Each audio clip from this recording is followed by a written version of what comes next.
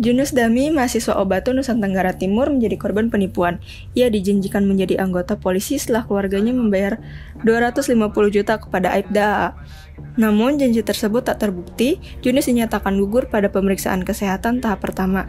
Junus pun melaporkan Aibda ke bidang profesi dan pengamanan kepolisian daerah NTT pada Selasa 18 Oktober 2022. Melkianus Dami, kakak kandung Junus, bercerita pihak keluarga menyerahkan uang 250 juta ke AA sebagai jaminan meloloskan Yunus sebagai bintara polisi pada tahun 2021.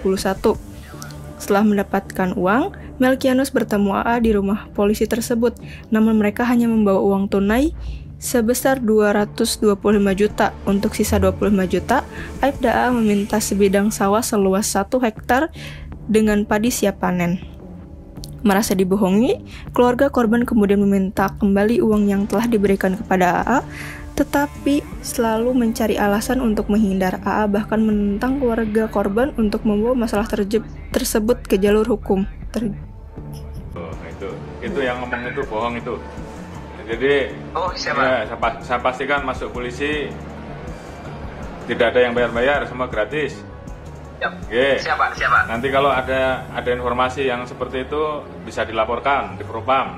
Nanti kita proses. Siap. Itu oknum. Siapa? Yang jelas untuk masuk polisi Siap. semuanya gratis.